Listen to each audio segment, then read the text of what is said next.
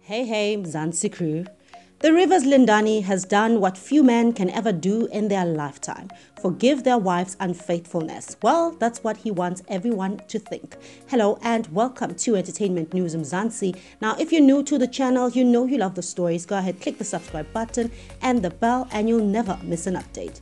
So underneath it all, Lindani is fuming because Tumi didn't just cheat with any Tom, Dick or Harry. She cheated on him with his cousin Mabutho. He's humiliated and more insecure than ever before. The affair has changed him forever. It has triggered a darker side of Lindani that we'll see unraveling in a few weeks to come. So what will Lindani do? Well, he has forgiven Tumi and talked her out of signing the divorce papers and taking him back.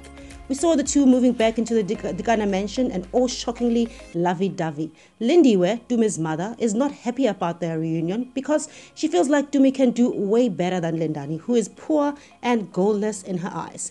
Lindani reminds Lindiwe of the life she left behind in the Refilwe township. Now, Tumi may have killed someone before, but she's not cold hearted and manipulative like her mother, so she won't see Lindani's revenge plans or be aware of his games a mile away. The only person who will spot Lindani's revenge is Lindiwe, and she may have to eliminate him permanently in the end. Lindani wants Tumi to hurt as much as he is and be more humiliated than he was.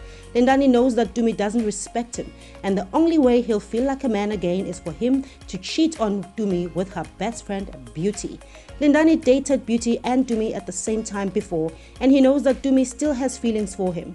He's going to convince Beauty that he and Tumi are actually over and going through a divorce. Beauty is going to fall for him hook, line, and sinker again, and the two will have an affair. Now, there you have it, Mzansi. It's going to be juicy in the next coming weeks on the river. Make sure you are tuned in. But for now, do leave your comment on the comment section below. But for now, you know, I will bring you the stories hot just the way you like them.